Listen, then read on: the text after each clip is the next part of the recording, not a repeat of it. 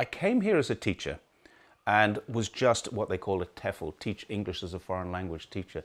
But I've expanded on that since. Uh, I worked in, uh, for a period of time, we had our own business, and uh, I left that to go back into teaching. Uh, when, when we had our business, it was a language center and a coffee shop. After that, I went into training and I became a training manager of a British company.